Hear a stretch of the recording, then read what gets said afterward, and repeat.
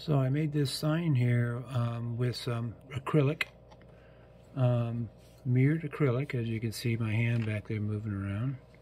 Here's a small piece of it right here. Turn it the right side up.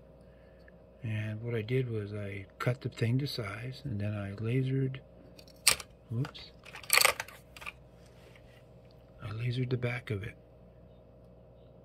because my laser doesn't seem to be strong enough to cut through three millimeter acrylic. I haven't figured that out yet, but it does engrave it quite well. As you can see, the sign.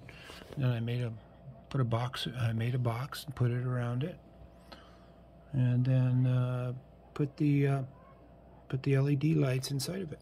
I think it turned out rather cool for a sign. Anyway, made all that stuff on the old Ortur laser engraver. Ortur. There we go. Anyway, everybody have a good day. Just some of the things that can be done if you put your mind to it.